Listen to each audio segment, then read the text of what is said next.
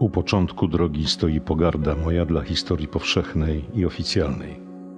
Historii zajmującej się masowymi ruchami, ideologiami, przemijającymi kadencjami rządów, terrorem władzy, masowymi wojnami, masowymi zbrodniami. Naprzeciw tych potęg stoi mała, biedna i bezbronna, ale wspaniała historia indywidualnego ludzkiego życia.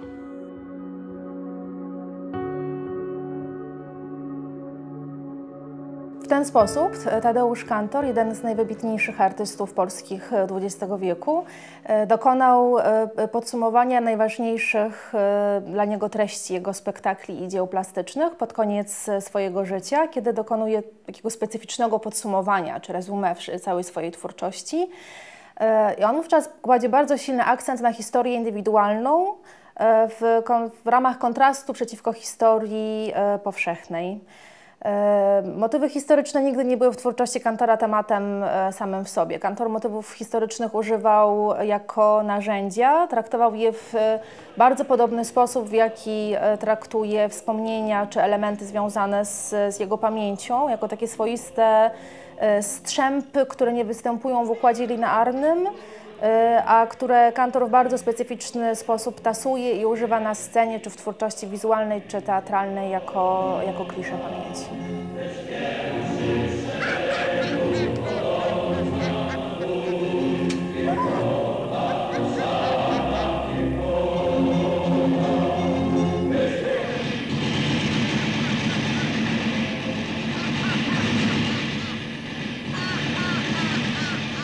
Kantor urodził się w Wielopolu akurat w czasie, kiedy rozpoczynała się bitwa gorlicka. To było oczywiście parę miesięcy później, ale z, ze wspomnień, które utrwaliły się w formie takiej kliszy pamięci wykorzystywanej następnie w jego sławnych spektaklach, zarysowuje się grupa oficerów austriackich, którzy stacjonowali na tej samej plemanii, na której Tadeusz Kantor przyszedł na świat. I on zapamiętał ich stroje, ich hełmy, buty. Mówił o tym wiele razy przy okazji rozmów o spektaklu Wielopole, Wielopole.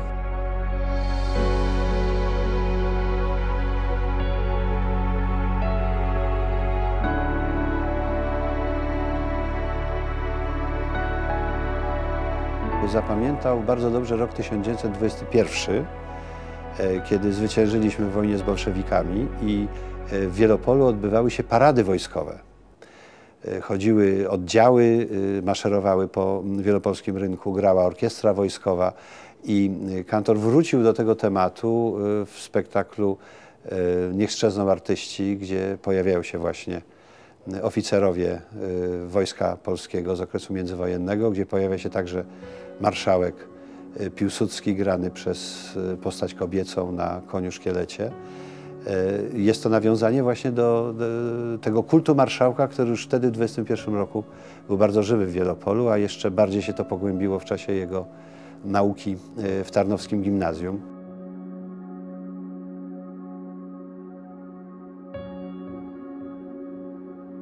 W spektaklu Niech szczezną artyści, którego premiera miała miejsce w Norymberdze w 1985 roku, Tadeusz Kantor wprowadza na scenę motyw wodza, mierzy się z legendą wodza, wprowadza na scenę marszałka Piłsudskiego na koniu szkielecie apokalipsy. Jest to bardzo specyficzne odniesienie do autobiografii Tadeusza Kantora znowu. Jest to znowu zdarzenie historii indywidualnej, czy wspomnienia indywidualnego, bardzo osobistego czy intymnego z, z legendą wodza. Kantor w tekstach towarzyszących spektaklowi Niech szczezną artyści przywołuje swoje wspomnienia z dzieciństwa, kiedy bardzo silnie przeżywał swoje marzenie o byciu, o byciu wodzem. Chciał być, chciał być wodzem, wyobrażał sobie siebie jako artystę w przyszłości, mając w rękach wszelkie parametry wodza. Wprowadza na scenę postać małego chłopca, jak gdy miałem 6 lat. Kantor nigdy nie wypowiadał się na temat Piłsudskiego. W tekstach czy w materiałach związanych ze spektaklem nie ma żadnego odniesienia do, do Piłsudskiego. Kantor wprost przeciwnie, w takiej broszurze towarzyszącej spektaklowi nie używa określenia marszałek Piłsudski na koniu. Mówi wiadomo kto, ktoś, kogo imię nie będzie tutaj wymienione.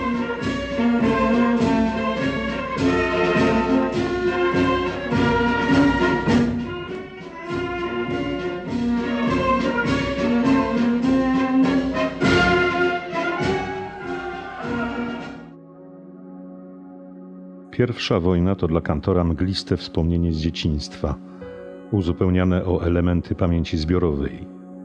Druga wojna przeżywana jest bezpośrednio i bardzo intensywnie.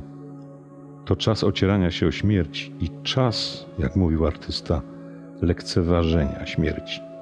To czas walki o zwykły, codzienny byt i rodzenia się wielkiej sztuki. Kantor sam tak o sobie mówił, tak o sobie pisał, że był świadkiem i ofiarą najgorszego czasu, e, który oczywiście oznaczał e, dla niego mm, e, rzeczywiste zagrożenie, zagrożenie biologiczne, zagrożenie unicestwieniem, ale oznaczał także niemożność realizowania swojego życiowego planu, niemożność spełniania siebie w sztuce w taki sposób, jak to sobie zamierzył. Sztuka zresztą odgrywała w jego życiu wobec historii, wobec tego doświadczenia e, tego czasu rolę szczególną, bo była rodzajem e, e, bezpiecznego miejsca. Doświadczenia działań teatralnych Kantora w czasie II wojny światowej wywarły ogromny wpływ na całą jego twórczość. Kantor w latach 43-44 realizuje swoje pierwsze E, przedstawienia e, zakłada Podziemny Teatr Niezależny, inscenizuje e, Powrót Odysa według Wyspiańskiego i Balladynę Słowackiego. To są przedstawienia realizowane w prywatnych mieszkaniach, po cichu, chyłkiem, wobec sytuacji zagrożenia. E, i wobec przeczucia zbliżającej się e, katastrofy i czegoś okropnego, co dzieje się za, e, za oknami. Odys jest bardzo wielowarstwowy. U schyłku twórczości Kantor mówi o Odysie jako o sobie samym, ale jest to żołnierz, który wchodzi u Kantora E, w sam środek wojny zostaje zestawiony z warunkami e, wojny z sytuacją wojenną. Musi się odnaleźć. Kantor realizuje ze swoimi przyjaciółmi te spektakle w ogromnej konspiracji, ale jednocześnie bardzo często mówi o tym później, szczególnie właśnie u schyłku życia, kiedy powraca do tych wcześniejszych realizacji że ten stan zagrożenia, to ryzyko, które czyhało na niego w każdym momencie, kiedy realizowali te przedstawienia, E, ten stan ocierania się o katastrofę e, stał się e, warunkiem jego twórczości, stał się czymś niezbędnym i zarówno w Teatrze Śmierci, jak i w ostatnich spektaklach, kiedy wprowadza siebie samego na scenie, swoją własną intymność i swoją własną prywatność, kiedy mówi o tym, czego on potrzebuje jako artysta, żeby móc tworzyć spektakle czy malować obrazy, to jest właśnie stan zagrożenia i katastrofy. Po okupacji hitlerowskiej nadchodzi czas Polski niesuwerennej, podporządkowanej innemu mocarstwu. Jednocześnie napisze kantor: Był to czas dziwny, ciężki od wspomnień, ale zarazem jakby drugiego dzieciństwa. Dla artystów czas dramatycznych wyborów. Kantor y, miał odwagę, jako jeden z nielicznych, to trzeba cały czas podkreślać, powiedzieć nie. I powiedział to razem z Marią Jaremą, przecież bardzo lewicową artystką, związaną z przedwojenną komunizującą grupą krakowską. Powiedział nie na zjeździe y, artystów plastyków w Katowicach, gdzie oficjalnie proklamowano socrealizm. Oznaczało to dla niego y, usunięcie z oficjalnego życia artystycznego na wiele lat. W okresie popaździernikowej odwilży kantor zakłada Teatr Krikot II Instytucja na poły oficjalna, bez stałego budżetu, zespołu i miejsca, przeciwieństwie do wielu repertuarowych teatrów Krakowa. Tak samo jednak jak one, w swej pracy podlegała ocenie rozmaitych decydentów, w tym oczywiście cenzury. Dla artysty nie stanowiło to jednak pierwszorzędnego problemu. Kantor opowiadał e, w jednym ze swoich y, wspomnień dotyczących tego okresu, oczywiście opowiadał to już po roku 89, y, że y, bardzo uważnie obserwował reakcję pań cenzorek, które zawsze przysyłano na kolejne spektakle Kriko 2, od spektaklu w Małym Dworku po, po Umarłą Klasę, to były zawsze te same panie.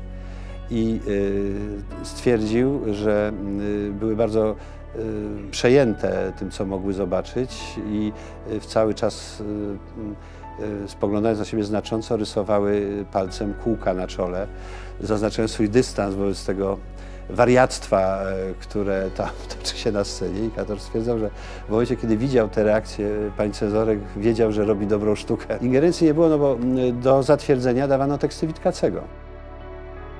Po 1956 roku, rok 1980 był najistotniejszą cezurą politycznego życia Polski. Myliłby się ten, kto by sądził, że Tadeusz Kantor to tylko oderwany od życia społecznego abstrakcjonista, ikona artystycznego Krakowa. Ale tym gestem zaskoczył jednak wszystkich i zdenerwował władzę. Jadąc do Stoczni Gdańskiej niedługo po sierpniowym strajku ze spektaklem Wielopole, Wielopole, chciał zderzyć autentyzm sztuki z autentyzmem życia.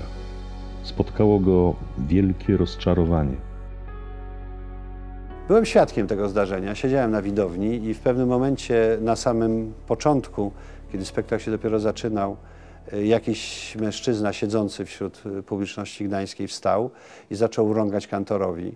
Zaczął wyrażać swoje pretensje, że kantor niewłaściwie używa symboli narodowych i symboli chrześcijańskich, co oczywiście y, wywołało bardzo ostrą reakcję kantora. Ale jeszcze zanim kantor zareagował, tego mężczyznę w bardzo sprawny sposób wyprowadzili dwaj cywilni funkcjonariusze, którzy przypadkowo, w cudzysłowie, znaleźli się obok. I później spektakl już nie mógł wrócić do swojego normalnego rytmu.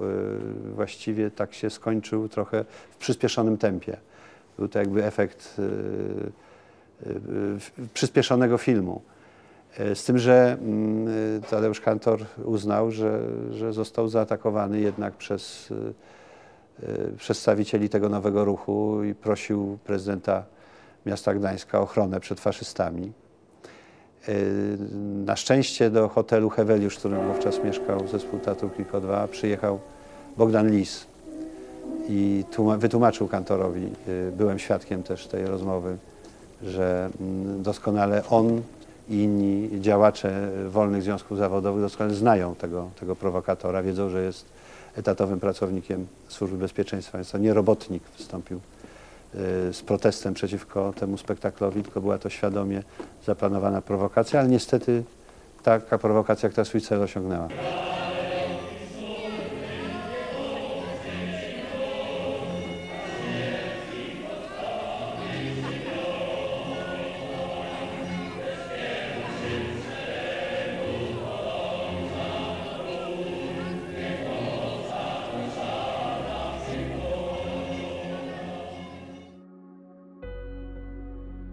Lata 80. to okres niebywałych sukcesów artystycznych na świecie i trochę mniej fetowany, a także krytykowany w Polsce. Środowiska opozycyjne zarzucały kantorowi udział w tzw. Teatrze Rzeczpospolitej i przyjmowanie zaszczytów od generała Jaruzelskiego. Artysta bardzo przeżywał krytykę. Tłumaczył, że tylko chronił swoją sztukę, a tylko ta się liczy. Nie politykował, ale polityką jeszcze raz zainteresował się pod koniec życia. Z dużą radością powitał y, premierostwo Tadeusza Mazowieckiego i w jednej z wypowiedzi nawet odwoływał się do jego twarzy, która jest twarzą prawdziwą. Nie jest twarzą perelowskiego polityka, jest twarzą autentyczną i nawet użył takiego porównania, że jest to twarz poety.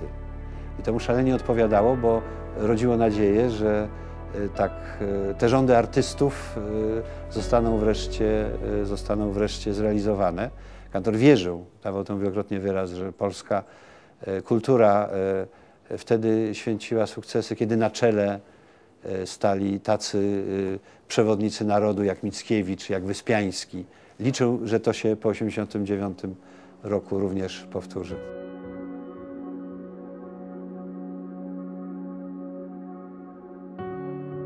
W ostatnich spektaklach Teatru Kriko 2, w Nigdy tu już nie powrócę i w Dziś są moje urodziny, następuje apogeum nawarstwienia różnego rodzaju motywów historycznych, ale podkreślić należy, że motywy historyczne nie są użyte tutaj dla samych motywów historycznych, dla zobrazowania historii, tylko kantor wykorzystuje je jako narzędzie do przeciwstawienia historii E, słabej, bezbronnej e, indywidualności ludzkiej. Nigdy to już nie powrócę, Tadeusz Kantor e, używa siebie samego jako narzędzia, mówi o swojej prywatności, o swojej intymności i to jest bardzo silne podkreślenie kontry przeciwko wszelkiej masowości historii powszechnej. Bardzo charakterystyczna i mocna jest scena, kiedy przywołane przez Kantora na scenę widma postaci z wcześniejszych spektakli rozstrzeliwują Kantora rozstrzeliwują kantora, który jest ubrany w, we wszystkie swoje atrybuty bardzo charakterystyczne dla niego, które miały podkreślić jego, e, jego indywidualność. Kantor w tym momencie wygłasza bardzo ważny e, e, fragment tekstu, mój monolog, testament, kiedy mówi o swojej własnej kondycji, o, swoim, o swoich własnych lękach, o przeczuciu śmierci, o swojej kondycji jako artysty. Zostaje rozstrzeliwany przez aktorów, to rozstrzelanie się nie udaje. Kantor nietknięty schodzi ze sceny.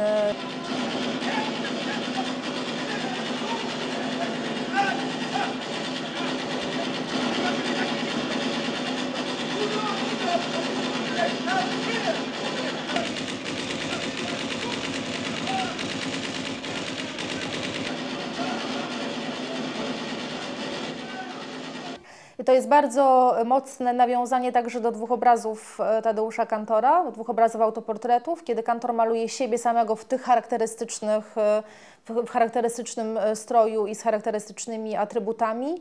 Strzela do niego żołdak napoleoński, który zostaje przeniesiony z obrazu Goi, rozstrzelanie powstańców madryckich w 1808 roku. I tutaj Kantor dokonuje korekty tego obrazu e, hiszpańskiego e, mistrza. Egzekucja się nie udaje, e, indywidualność, ta biedna, mała, bezbronna postać ludzka przeciwstawia się temu systemowi, temu, co się, temu, co się wydarzyło.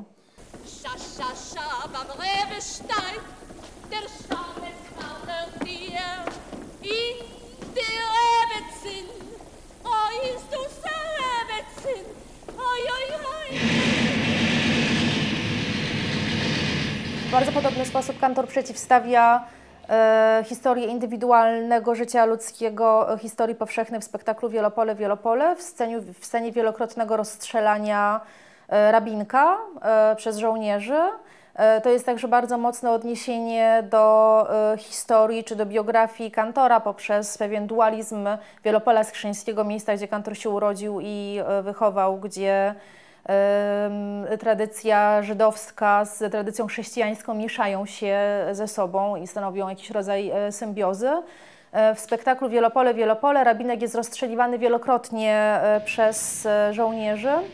Za każdym razem powstaje śpiewając pieśń w języku jidysz, aż do ostatniego rozstrzelania, kiedy rabinek zostaje podniesiony przez Tadeusza Kantora i znów nietknięty schodzi ze sceny. I tutaj na scenie Teatru Kryko 2 Tadeusz Kantor e, przeciwstawia się Holokaustowi. W ostatnim nieukończonym spektaklu e, Dziś są moje urodziny Kantor rekonstruuje na scenie bardzo intymne miejsce, swoje prywatne miejsce, które jest mu bardzo bliskie na co dzień.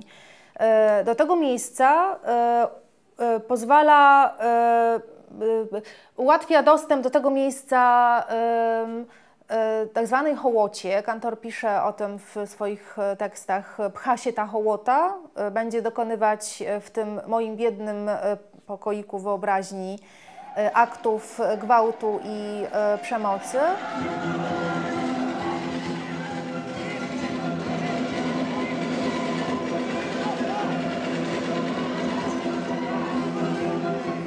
Pojawiają się żołnierze z I i II wojny światowej, NKWDyści.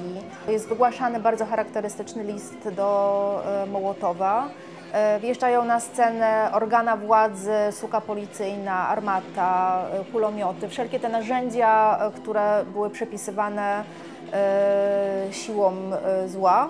Kantor wprowadza mów- w sposób bardzo ironiczny w spektaklu wszelkie y, atrybuty nie tylko ludzi, władzy, ale także propagandy, a więc pojawia się, pojawiają się pomniki, pojawia się y, mównica, pojawiają się dygnitarze ze stołkami przyszytymi do pośladków. To, co jest znaczące w tym spektaklu, to jest to, że Kantor w jednej z ostatnich scen wprowadza scenę własnego, własnego pogrzebu scenę własnego pogrzebu y, biednej indywidualności biednego artysty, y, która wchodzi w sam środek y, tej zawieruchy, tego pola bitwy. Tadeusz Kantor mówił wielokrotnie, że tylko i wyłącznie poprzez protest i poprzez bunt y, można przeciwstawić się y, temu systemowi, totalitaryzmom, y, wszelkim ruchom masowym. Więc poprzez protest i poprzez, i poprzez bunt, który był bardzo silnie był bardzo silnie zakodowany w, w kantorze w związku z jego doświadczeniami e, wojennymi, z jego wspomnieniami. Nie, nie, nie potrafił się, nie był w stanie pozbyć się tego. To było bardzo silnie zakorzenione w nim i poprzez e, swoją sztukę e, w ten sposób wyrażał swój bunt i protest przeciwko historii. Ojcowie nasi przeszli przez rzeźnię, którą nazwano pierwszą wojną światową. Piękna nazwa, historyczna. My przeżyliśmy największą zbrodnię ludobójstwo. Długo wierzyliśmy w dumny początek tego wieku. Postęp, intelekt, sztuka, awangarda wystarczy. Najwyższy czas zacząć gromadzić materiał dowodowy dla wielkiego procesu. Mamy go wytoczyć naszemu czasowi.